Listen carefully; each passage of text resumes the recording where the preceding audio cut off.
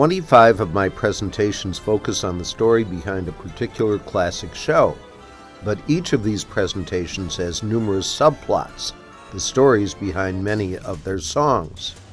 In my next Woodstock Opera House appearance, I'll take on 10 of these shows, focusing on one of their most memorable songs and tell the fascinating backstory of each of these songs that we know and love so well.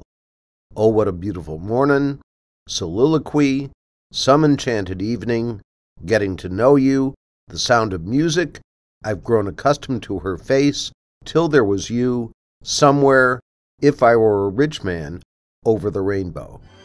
So join me, Charles Troy, for Broadway 10 Songs, 10 Stories on Saturday, April 30th at 7 p.m.